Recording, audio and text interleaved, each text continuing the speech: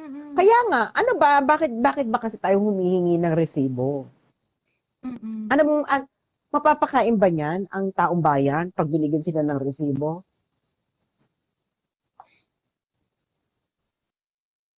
Mag-aaksaya pa ng papel, 'di ba? Oo, alam mo, mali rin tayo eh. Bakit ba tayo humihingi ng ano, ng nagdidemand ng liquidation with resibo kung paano nila ginagastos ang pera ng taong bayan kung naninigay naman sila ng ayuda? Oo nga, kaya sila magpunta. 'Di ba? O. Kulang na nga lang ilagay sa condom yung mukha nila eh. O. Kulang Hindi na lang nga. ilagay sa butil ng bigas. Oh, 'di ba? Bawat isang butil ng Bawat isang bigas. butil. Metaka, metatak. MR! Oh. Yung tipong ano, ano, o ito isang kilong bigas, pag gano'n mo ng isang kilong bigas, ay, bakla, lahat ng butil may mukha nila. o hindi natin alam. Baka pag sinaing mo pala yon, once na mag-inin yung kanin, lalabas dalawang letrang malaki, MR. MR, ganon. Ganon. 'Di ba? Ayan, bawal manghingi ng resibo, nasasaktan ang feelings nila, sabi ni Ma'am Ruth Reyes. Tama ka po. Tama Pero ka itong po, si ano, si, si Ka Eric, hindi ko kasi nasundan kung bakit siya kinontempt. Ba't siya kinontempt? Kasi ayaw nga niya sabihin yung source niya. Ayaw niya sabihin yung source niya. So ngayon, um, basically, ah ako tingin ko ano eh, handang-handa talaga si ano eh, handang-handa talaga si Ka Eric na magpa-detain. Handang-handa talaga siyang ma-cite in contempt. So ngayon, tinatanong siya, ano yung source mo? Sino yung source mo sa Senate? Kasi ah sabi ngayon ng mga kong actually feeling ko medyo na caught off guard niya doon yung ano eh, yung mga congressmen na ready ready siyang magpa-contempt. Kasi Oo, kinonvince parang ano pa eh, parang ah it, took them a while bago sila nag-decide kung iko-contempt ba nila si Ka Eric o hindi. So nung una tinanong siya, "Ti- tinatanong ka lang namin, sabihin mo kung ano, ganyan ganyan. Sino yung source mo sa Senate, ganyan ganyan. So, No, tapos ini-invoke niya yung Soto Law, ganyan ganyan. So ang sabi ngayon ng ng Congress, yung Soto Law doesn't apply to you. Hindi raw nag-a-apply sa kanya. Hindi raw nag-a-apply sa kanya yon. Ayan. So ngayon, ah four times siyang inask. So for, eh, kung gaano siya kadaming beses tinanong, gano'n din siya kadaming beses nag ah, sumagot na he's not going to reveal yung source niya. O sabi niya, pag ni-reveal ko sa inyo yung source ko, ma-jeopardize yung yung ano, yung of course that's that's also Ka Eric's career now, 'di ba? Yan yung ano niya eh. So sino pang 'di ba? Common sensically, kapag ka ni-reveal niya yung source niya diyan, sino pang magtitip kay Ka Eric moving forward, 'di ba? Di wala nang magtitip sa kanya, ganyan. So Hindi, anyway, alam mo yung ginagawa, alam mo yung ginagawa ng Congress na yon. Nagkaroon ngayon ng nagkaroon ngayon ito ng ano, ng president. mm, Kasi kung yung next Congress kung GMA naman yung may ganun. What's good for the gander is good for the goose. mhm, mhm. Ba't hindi ko papatawag si ano? Di ba kayo imagine? Kaya nga, I love, I love Congress. They're creating, they're creating new Philippines. Bagong Pilipinas, bagong muka. Yung mga probinsya ninyo, Diyos ko, day, mahiya kayo. Nalilimahid pa din. 'Di ba? Diyos mio. Mm. Ako naman kasi, kung gusto nilang, kasi si Ka Eric naman gusto niya magpakulong, so ibigay. Dalawa kasi sila, di ba, na gusto niya magpakulong. Correct, correct. Kasi sa totoo lang ano Ito, ah, ito, to be ito, fair girl, ah. Ito, Eric, girl. ah, Mm. it will not Mm. look good in ano in I mean, you know, on, on, on surface level, it will not look good sa ano no sa mga foreign observers na ay nagpakulong sila ng host ng isang TV show. 'Di ba? It will not look good. It I mean, sa from anyone looking out um from from outsider looking in at makikita nila yung ganitong klaseng storyline ang ating Congress ay nagpakulong ng TV host 'Di ba, parang Philippines, come on, what you're what are you doing, 'di ba? So Wala naman wala namang pakialam kasi nga anti-US ang SMNI. So no effect. Yeah, oo, Pero pero, ang- at least 'di ba for the thinking ano, thinking people It's not outside it, the it's Philippines. it's not gonna be for this generation. Ngayon sabihin ko it's not gonna be Ah, for this well, yeah, generation. Ano nga, ano tayo, we are, ano, historical epoch. Alam mo yan. Kaya nga ako, pag ako, pag, pag pinatawag ako dyan, hindi ko sasagutin ang tanong ninyo. Mm-mm. Ang sasabihin ko lang ay, i-liquidate ninyo ang inyong mga MOE with resibo up to the last centavo. Hanggang maasar sila, girl. Alam mo yon Mm. Ma- 30 days, ano, ikulong ka, go! Tapos mag-hunger strike ka. Hindi Mm-mm. ako kakain kasi hindi ko alam na safe yung pagkain na yan. Ah, Kung mamatay ka doon, problema nila yan. Correct. Alam mo yun, na parang, kasi nga, alam nyo, wala talagang pakialam ang mga Pilipino na ninanakawan sila ng mga congressman kasi nga nagbibigay, nagbibigay ito ng mga ayuda sa mga Ah. Pilipino. Yung mga mayayaman, walang pakialam kasi nga, ang kailangan lang naman sila sa mga congressman ay magpasa ng mga batas, ng lisensya, ganyan, or whatever, na magbe-benefit sa kanila. At huwag magtaas ng buwis na maapektuhan ang kanilang mga kayamanan. Oo. Nakukuha naman nila yan. Yung mga mahihirap, wala naman talagang pakialam yan. Ang gusto lang nila is ayuda. So kukuha lang sila ng ayuda. Yung middle class na dapat may pakialam, wala namang magawa kasi nga pagod sa trabaho. Tapos, ini-entertain pa sa news feed ng mga entertainment news. Wala, hindi nga naman, nagugulat nga ako, guy. Day, nakailang entertainment, parati na lang entertainment news ang nakikita ko sa ano ko na, suggested, nakalagay. Bakit hindi Mhm. mahilig sa entertainment news? Mm-mm. Gets ninyo? So, Mm-mm. so ganun nga yan. So, iisang institusyon na lang ang kailangan. At ang institusyon na ito ay ang institusyon ng kapangyarihan ng langit at buwan. oh, wala akong sinasabi ah, kapangyarihan ng langit buwan nga. Ikaw, meron kang gusto i-open up, Joey. eh. Ang gusto mo i-open up, yung gusto daw ni yung sinabi mo yung travel expenses. Ali, ano, tawag dito? Anong anong sa travel expenses? Di ba nag-post ka Ah, yung ano, tawag dito. Hindi kasi G na G sila. G na G nga sila na ano, G na G sila na malaman yung source. Ay, well, hindi ko, yun yung hindi ko magets kasi, Hindi, ito oh, sabi mo, nakadiri ang takbo ng hearing sa Committee on Legislative Franchise. mm-mm. Need pa daw nila ng invitation para makasagot kung paano ginastos ang traveling expenses nila. Ah, oo, Hindi ko oo. gets yan. Hindi ko gets. Ka- kasi, um, na-contempt na niyan si ano eh, wala na si Ka Eric niyan. So, ang tinatanong niyan, si Doc Lorraine Badoy. So, ngayon, tinatanong nila si Doc Lorraine, pero yung tanong talaga para kay Ka Eric. Eh di syempre si Doc Lorraine, hindi naman siya makakasagot ng ano kasi hindi naman siya yun, eh. hindi naman siya pwedeng, hindi naman siya ano, eh, spokesperson ni Ka Eric eh, ganyan. So ngayon parang inaano sila na parang bakit emergency ba yon yung time na yon? Bakit kailangan nyo sabihin na bakit nyo kailangan i-report agad yung 1.8 billion na travel expenses ni Martin? Hindi naman yan emergency! Sabi ni Toby Chanko. Hindi naman yan emergency! Dapat tinanong niyo muna kami! Hiningi niyo muna yung aming paliwanag! Bago niyo sinabi yan, bago niyo ni-report yan. Sabing ganon, ni Representative Toby Chanko.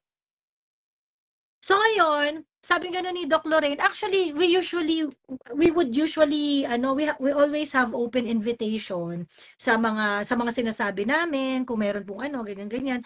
Usually naman po nagsisend kami ng invite. But for this one, we weren't able to send an invite because ang tinatanong naman daw nila is yung Congress as a whole. So ngayon, ang sabi ni Toby Chanko, dapat daw, in-invite daw sila to, to defend themselves, to explain themselves.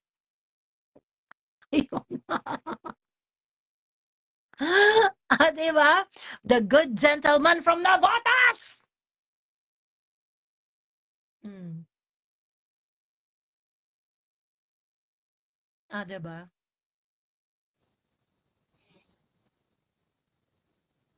O, Ayun. asan ang resibo ninyo?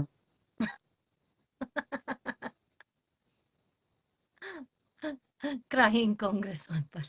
Hindi, ano mo yon na parang, wala akong pakialam eh. Kasi nga, it Mm. is your duty to prove to the people na hindi kayo magnanakaw. Correct. Nagets ninyo? Sinabi ng Supreme Court, an elected official is public property. Oh.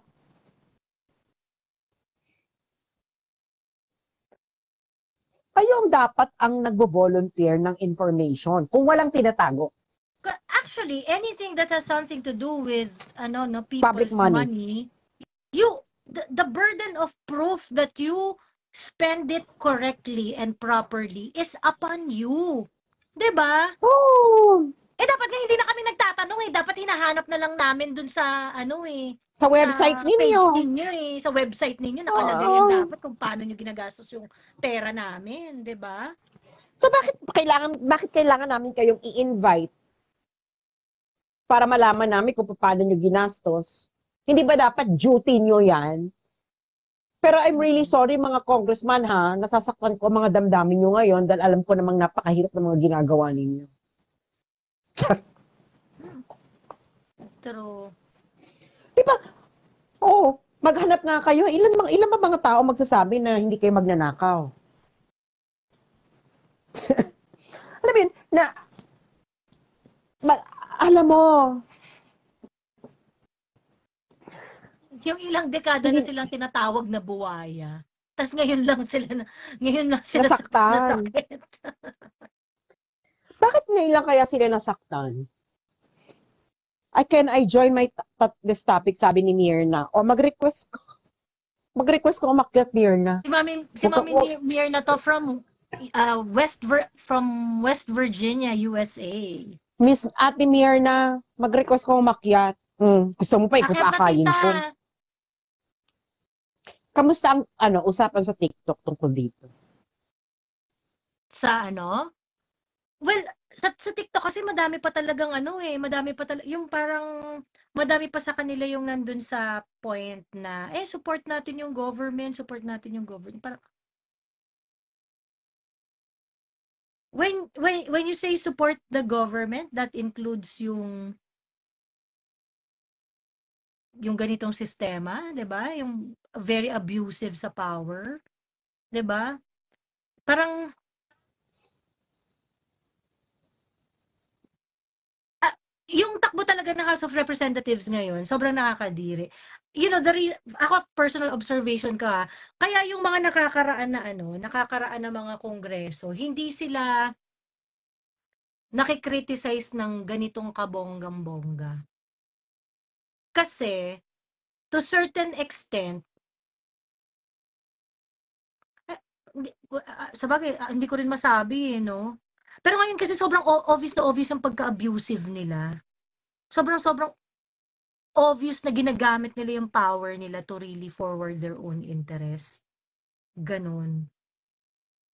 Sobrang sobrang normal na na yung mga congressmen walang delikadesa, ganon. So, Hindi, ang tanong ko sa mga congressman ha, kung nasaktan kayo doon sa sinabi ni Eric, ba't hindi nyo patawag yung Japan Times? Eh yung Japan Times nga nag-report na humingi daw ng bribery ito si binayaran ng bribery money itong House Speaker. mm. O ba't hindi nyo patawag yon? And Diba? naman daw kasi sila sa, wala naman daw kasi sila sa Pilipinas, so wala silang power daw doon. It doesn't matter. Ba't hindi kayo nagpasa ng resolution defending ang good name ni ah, Martin Romualdez? Diba? Mm. Ako kasi, alam mo, yung mga, yung, I believe as a cosmological woman that it is not a sign of sanity to be so well adjusted in an insane system. Uulitin ko, Mhm. tatagalogin ko para maintindihin yung lahat. Hindi po senyales na isa kang um, ano bang Tagalog ng sane? Hindi po sinyales na matino ang pag-iisip mo na napakahiyang mo na sa napakasamang sistema. Mm. Okay? Um, kaya nga kahit itong panahon ni Duterte, nagsasalita rin kami, no? Hello, Diyos mio. Kita mo nga si Duterte, sabi niya sa akin dati, Diyos ko, I can be harsh sometimes. Because I can really be harsh sometimes, no? Wala kang magagawa, bunga nga ako yan. No? If you grew up, if you if you became homeless and lived in a public park, you have to be tough, no? And um, dahil ang mga nakakasalamuha mo dyan, Diyos ko din, mga krong-krong na. Dahil nga homeless Mm-mm. mga nag-rugby pa yung iba, puta. Anyway, Mm-mm. so yun ang, yun ang eksena na wala po kaming the burden of proof na hindi kayo magnanakaw ay wala sa taong bayan. Wala po dapat ilabas ang taong bayan na nagbibe, nagbabayad sa inyo na pruweba na, na magnanakaw kayo. Dapat kayo ang nagpapatunay na hindi kayo magnanakaw sa pagiging transparent ninyo sa paggastos ng pera ng taong bayan. Naiintindihan ninyo? Kasi ako hindi ako na, hindi kasi ako naniniwala na ano eh na I'm a realist, you know, na it will never be 100% clean. It will never be 100% clean. Pero the bottom line is we have to be 100% against it being dirty. Why? Para yung tolerance level natin sa dirt hindi Di maging mata- kataas. um, mataas oo, kasi di droga mataas. parang drog parang parang bahay mo yan eh If- you have 100% no tolerance sa pagiging dirty ng bahay mo versus meron kang hmm, matotolerate ko ang magna, ang ang kadumihan ng bahay ko ng 30%. Bakla, that's already the baseline of your tolerance level, 30%. So tataas pa yan. So, Oo. pero pag sinabi mong zero tolerance ka sa kadumihan ng bahay mo, bakla, manginginig ka eh. Na maging 5% dirty yung bahay mo, manginginig ka na eh. Kasi nga, Correct, so, oo. zero tolerance ka. Of course, you might not reach the 0% na hindi madumi yung bahay mo. Mm-mm. Pero at least, hindi tumataas oo, ng It, it bonggang-bongga. puts you on your toes. Whenever makita mong madumi siya, it put it, it- it puts you on your toes na May diba? takot ka. May Oo, ay takot maglinis ka. tayo, may dumi, 'di ba? O putang ina, yung parang mag-iisip, putang ina, dumi ng bahay, maglinis Mm. nga.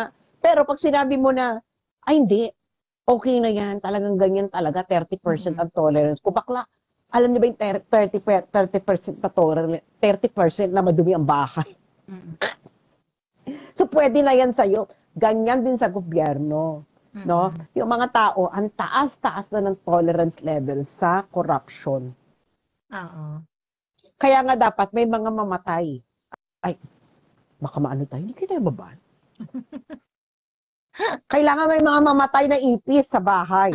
Ganon. 'Di ba? Kasi ang ipis ay senyalis na ang bahay ay Marumi. Mm. yes. Ayun. So, ano ibig sabihin mo dyan, Sas? Ang ibig kong sabihin po dito ay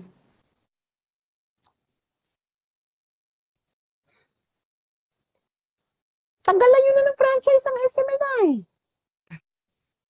Huwag niyo pa ba? Magtipid po kayo sa kuryente. Diba? Huwag niyo Ako talaga. pahabain yan. Diyos me. Ako, ako, ibo-volunteer ko na lang yan. Oy, tanggalin mo. Balik tayo sa usapin ng hindi kayo nag-liquidate ng MOOE. Correct. Nag-gets ninyo? Mhm. Kasi nga, ayun, ayun ang, ayun ang eksena. Ang eksenang, ano, ah, um, ano to? Sandali. May mga, may mga nag-request umakya. Ay, si Ate Mirna, nako. Ayan na, ayan Okay. na.